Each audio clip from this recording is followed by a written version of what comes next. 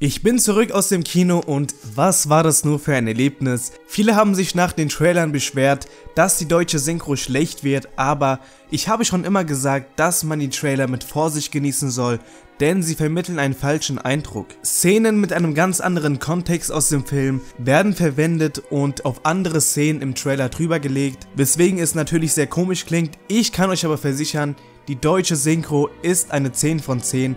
Robin Kahnmeier, Felix Spieß, Tommy Morgenstern und die meisten anderen Sprecher haben einen sehr sehr kranken Job abgeliefert. Tommy Morgenstern klingt auch wieder wie in Dragon Ball Z, also er legt Son Goku etwas tiefer an, nicht mehr so wie den vorherigen Filmen. Du warst schon wieder kurz davor auszurasten. Wie oft muss ich dir noch sagen, dass du diesen Impuls unterdrücken sollst? Jetzt reiß dich doch endlich mal am Riemen.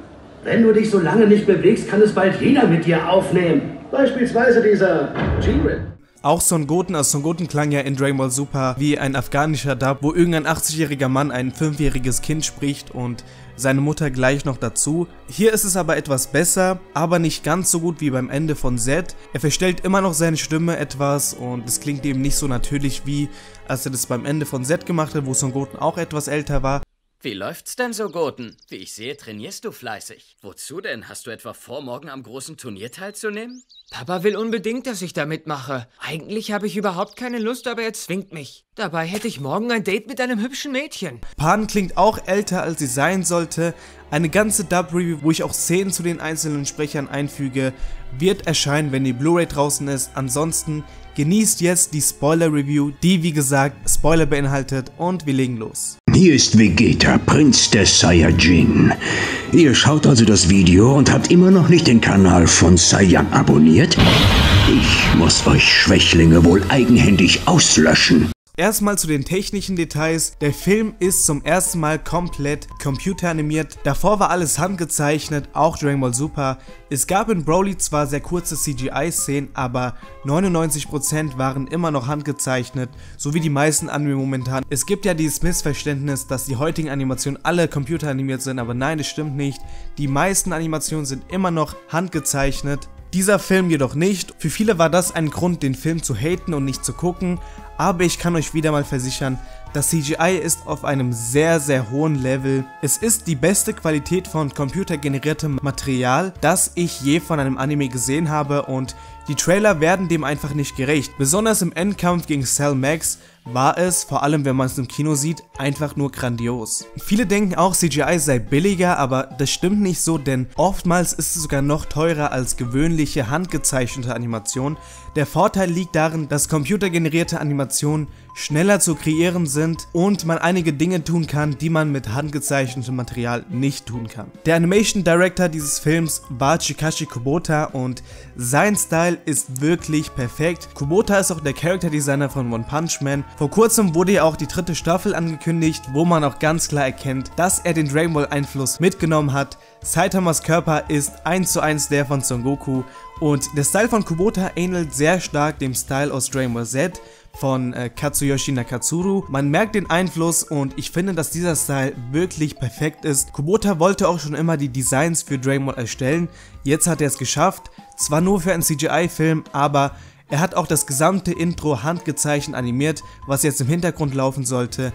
Davor arbeitete er auch an Dragon Ball Super Broly und animierte den Cut zwischen Gogeta fürs Broly und auch die Endcredits waren von ihm.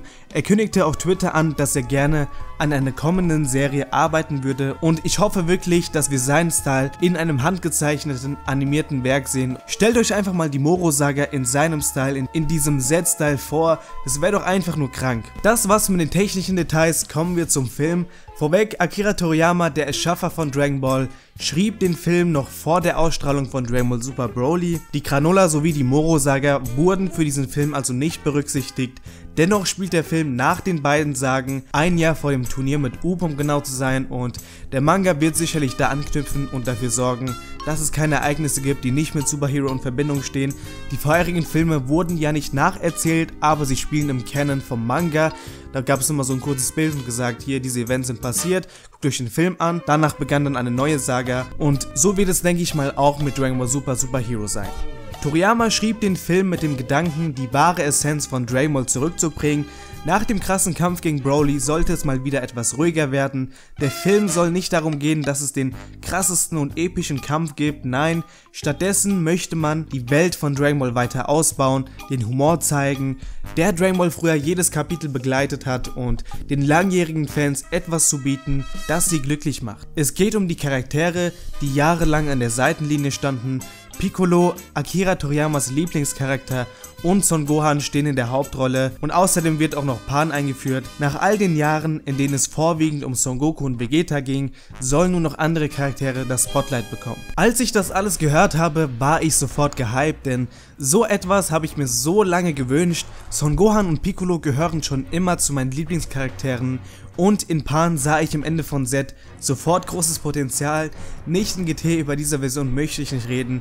Bitte lasst mich in Ruhe mit ihr. Dragon Ball ist nicht nur Kämpfen, wie so viele sagen. Vor allem Dragon Ball Classic ist ein Abenteuer und sehr, sehr lustig. Ich mag Dragon Ball nicht nur wegen den geilen Kämpfen, sondern eben auch einfach wegen den Momenten, in denen die Charaktere miteinander agieren, in denen man mehr über deren Leben sieht. Die Highschool-Folgen mit Son Gohan am Anfang der Buu-Saga sind meine Lieblingsfolgen der gesamten Serie und deshalb wollte ich den Film auch unbedingt sehen. Wer einen Film wie Broly erwartet, der geht mit falschen Erwartungen rein. Superhero ist eher eine Belohnung für die langjährigen Fans. Das merkt man auch daran, wer zurück ist. Die Red Ribbon Armee arbeitet im Hintergrund an ihr Comeback und rekrutiert den Enkelsohn von Dr. Gero, Dr. Hedo, der aber eigentlich nicht böse ist und auch keine bösen Cyborgs erschaffen möchte, sondern eher auf Superhelden steht.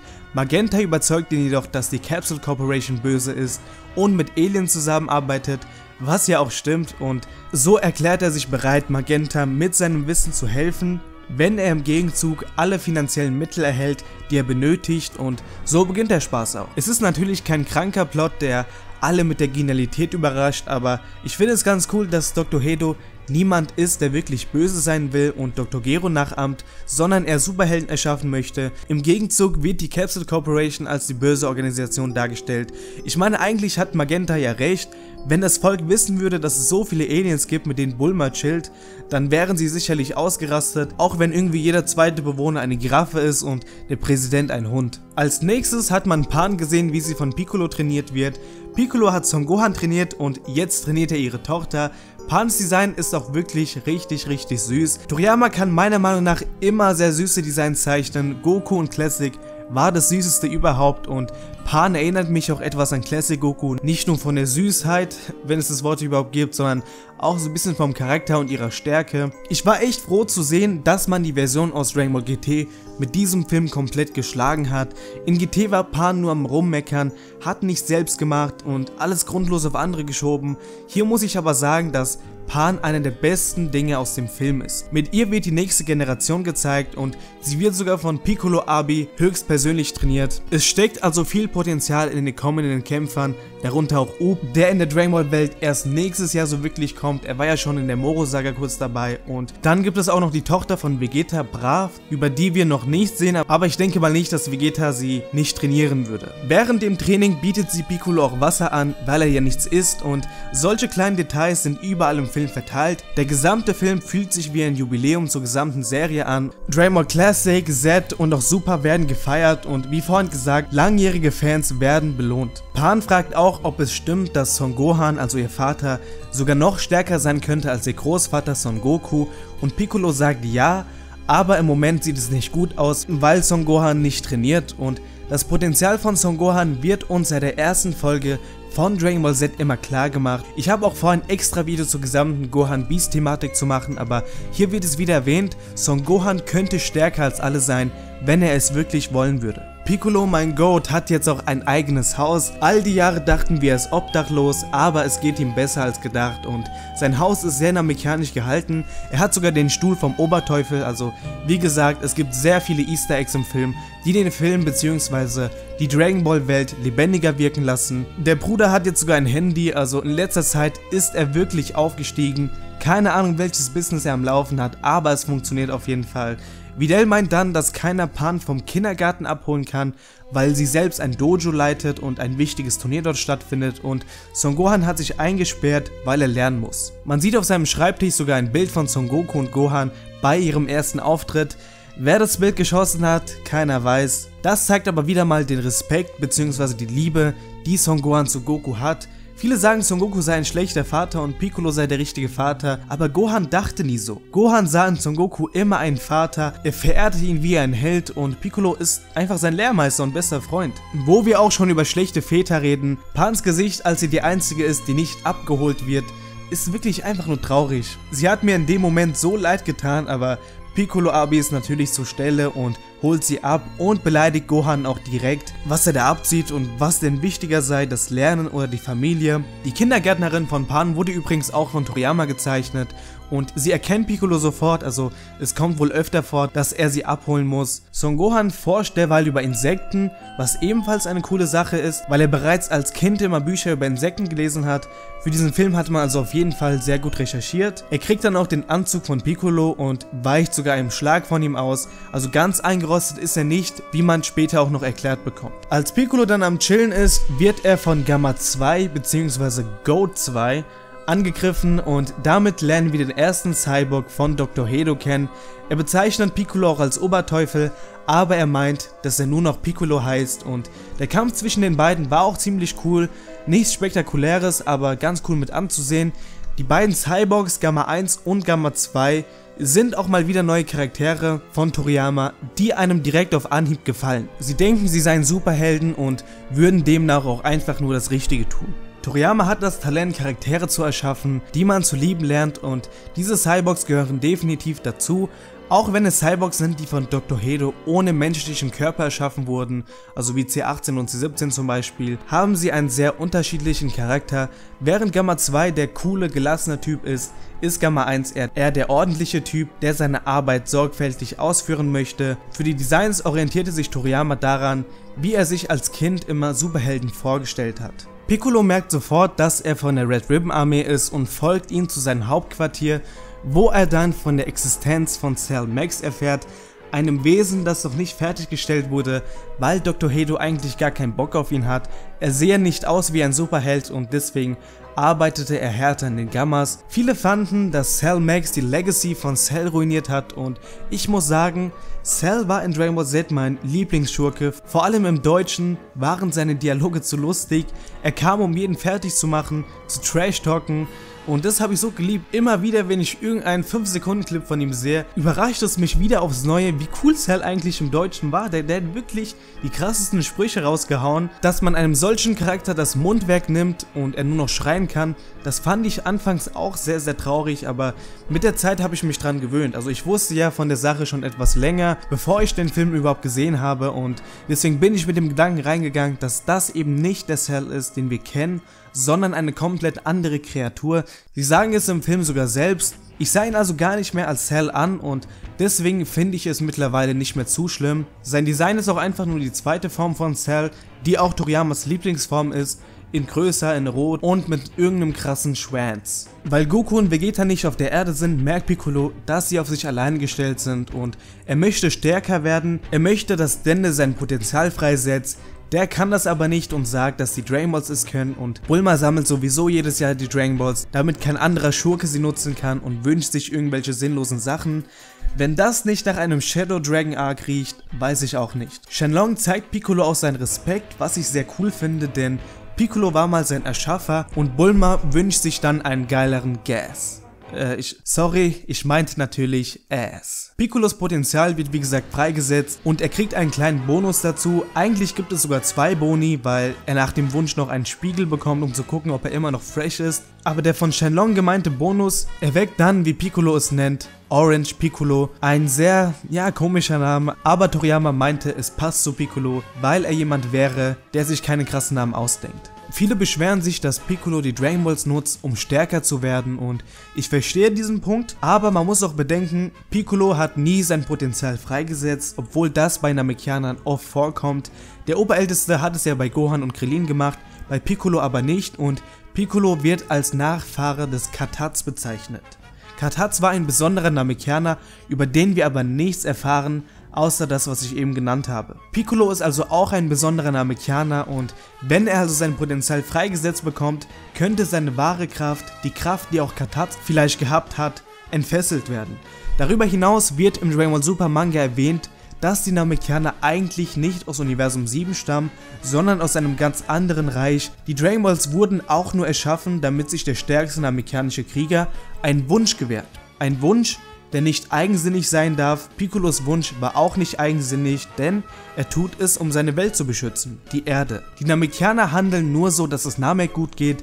Sie sind ein friedliches Volk, aber diejenigen, die Namek bedrohen, werden bekämpft. Piccolos Wunsch könnte also etwas sein, wofür die Dragon Balls überhaupt erst erschaffen wurden, weswegen es auch diesen kleinen Bonus gibt. Auf seinem Rücken befindet sich danach ebenfalls der namekianische Baum, was den gesamten Stolz der namekianischen Rasse darstellen soll. Wenn man es so sieht, dann kann man es, denke ich mal, etwas relativieren. Es ist auf jeden Fall sehr geil, dass Piccolo endlich auch mal etwas bekommt und damit krass ist. Laut Toriyama ist er in dieser Form auch so stark wie Son Goku und Vegeta. Er nannte keine Form, er sagte nur Son Goku und Vegeta. Man könnte jetzt sagen, weil er nur Son Goku und Vegeta gesagt hat, meinte er auch den Ultra Instinct und den Ultra Ego.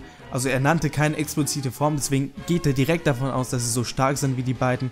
Oder aber vielleicht meint er auch nur die Base was ich aber nicht glaube. Die Red Ribbon Armee möchte Pan entführen, um Son Gohan anzulocken, der der Anführer der Capsule Corporation sein könnte und Piccolo hilft ihnen dabei, damit Son Gohan wieder wütend wird und seine wahre Kraft entfesselt. Kommt mir nie wieder mit Piccolo ist der bessere Vater von Son Gohan, er ist viel fürsorglicher, es ist eigentlich das, was Goku damals bei Cell abgezogen hat, nur zieht Piccolo jetzt auch noch Gohans Tochter mit rein. Jedenfalls rastet Gohan dann aus und kämpft gegen die Gammas, die sich auch fragen, ist das, was wir tun, überhaupt das Richtige? Ein kleines Kind zu entführen, ist eigentlich etwas, das Superhelden nicht tun. Und diesen inneren Konflikt fand ich sehr nice. Ich, ich fände es auch cool, wenn Gohan mit seinem Great Sireman Outfit aufgetreten wäre, Superheld gegen Superheld, aber Dafür war die Situation, denke ich mal, etwas zu ernst. Der Kampf im Regen war wirklich sehr schön animiert. Der Regen, der auf sie natürlich hinunterfließt, ist etwas, das man mit traditioneller handgezeichneter Animation nicht so hinbekommen hätte. Und da sieht man, dass sie die Vorteile, die man durch CG-Animation erzielen kann, auch gut umsetzen. Als Gohan dann in die Ultimate-Form geht, hat mein Herz dann auch als Son Gohan-Fan natürlich höher geschlagen. Die ganzen Wolken sind nach der Verwandlung auch verschwunden, was auch in Dragon Ball Super schon so war. Irgendwann merken die Gammas auch, dass sie eigentlich auf der falschen Seite kämpfen und tun sich mit Piccolo und Son Gohan zusammen. Pan besiegt sogar einen von der Red Ribbon Armee, wie der Großvater, so das Enkelkind. Es ist dennoch zu spät, denn Magenta holt Cell Max aus seiner Kapsel, obwohl er nicht fertiggestellt wurde und sein Mind Control Werkzeug noch nicht implementiert wurde, also man kann ihn nicht kontrollieren und er hat auch noch nicht seine volle Stärke. Jeder merkt, dass es jetzt ernst wird und der erste Schrei von Cell Max im Japanischen war sehr, sehr, sehr furchteinflößend. Generell muss ich sagen, dass die deutsche Version, auch wenn es der alte Sprecher ist, nicht an die japanische Version rankommt. Die Schreie im Japanischen sind wirklich richtig gruselig und man spürt irgendwie ein gewisses Leid, als würde Cell Max vor Schmerzen schreien. Vermutlich hat der Sprecher wirklich vor Schmerzen geschrien, aber die deutsche Version ist zwar auch gut, aber da kommt es meiner Meinung nach nicht so gut zur Geltung. Der Kampf gegen Cell Max ist auch der Höhepunkt des CGI, denn hier geht es richtig ab, alles sieht richtig geil aus und auch Son Goten, Trunks, C18, Krillin sind dabei. Jeder kriegt seine Screentime und sogar der fette Gotenks ist zurück und zum ersten Mal in der ganzen Dragon Ball Geschichte ist der fette Gotenks sogar nützlich. Man kriegt außerdem noch ein bisschen extra Infos, die sich viele gefragt haben. Zum Beispiel, wieso Son Goten und Trunks so lange klein geblieben sind und es wird erklärt, dass Saiyajins lange Zeit nicht wachsen und dann einen plötzlichen Wachstumsschub bekommen. Das war zwar bei Son Gohan nicht so und bei Son Goku war es zwar so, dass er plötzlich einen Wachstumsschub bekam, aber er wuchs auch vorher teilweise also die Erklärung macht jetzt nicht so 100% Sinn. Son Gohan kann, nachdem er sich transformiert hat, auch besser sehen, deswegen braucht er im Super Saiyan auch keine Brille mehr.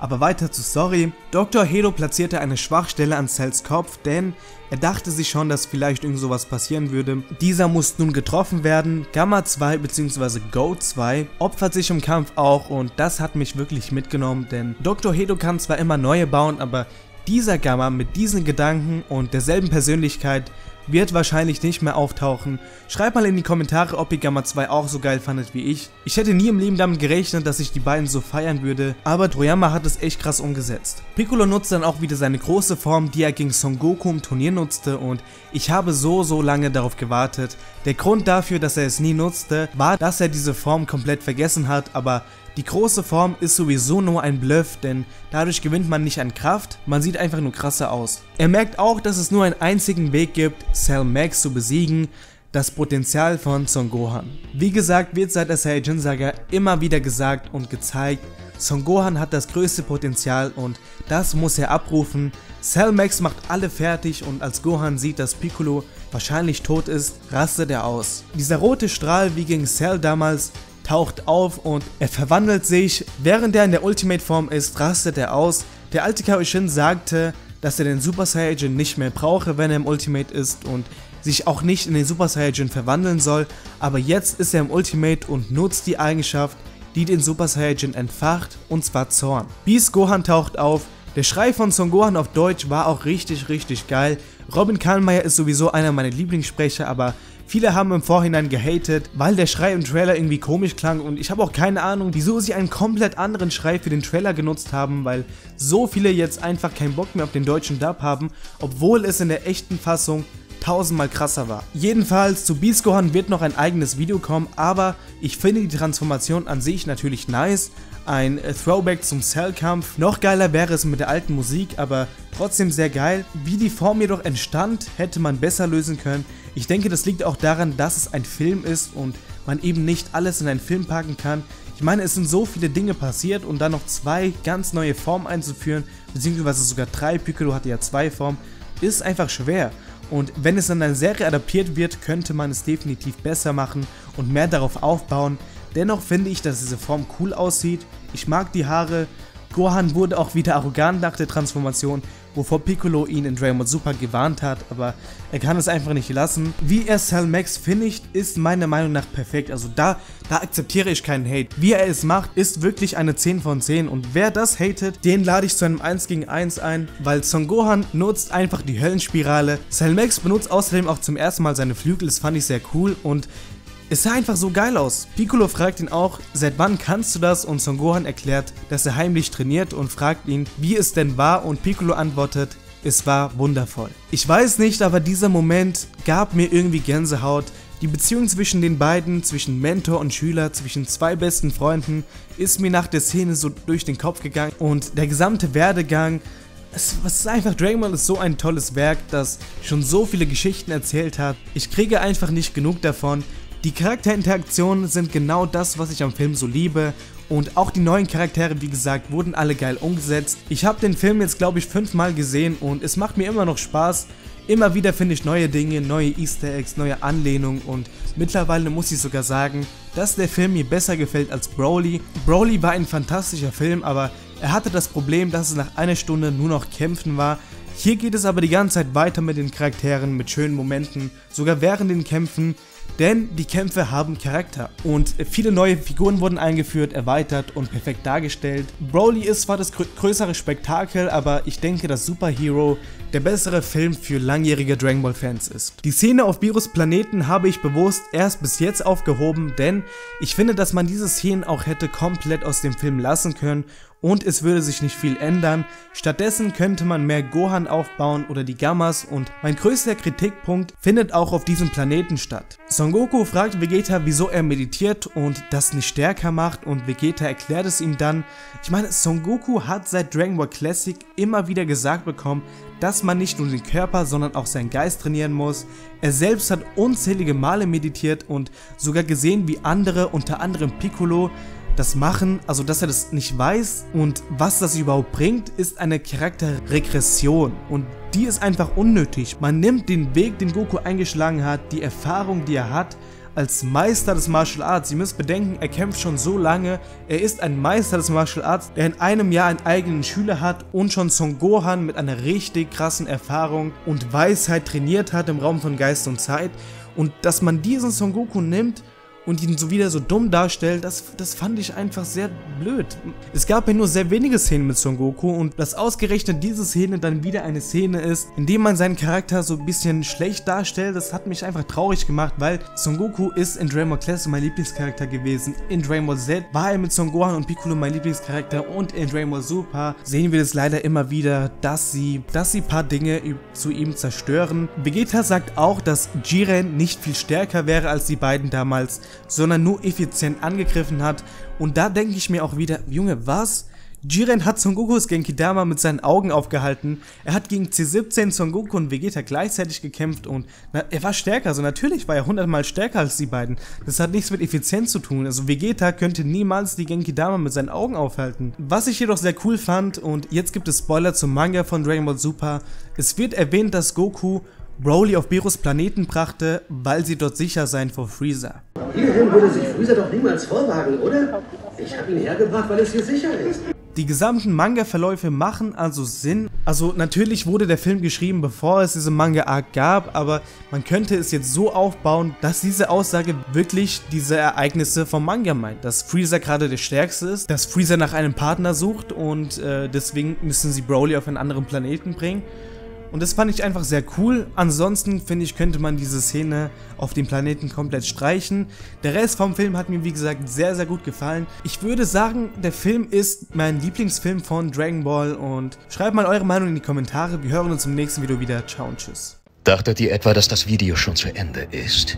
Nicht Saiyan beendet das Video, sondern ich, Dio!